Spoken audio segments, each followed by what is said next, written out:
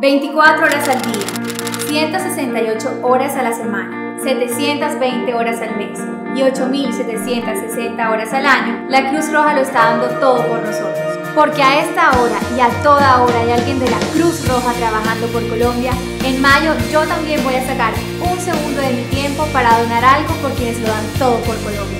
Saca un segundo de tu tiempo para donar. Cruz Roja Colombiana.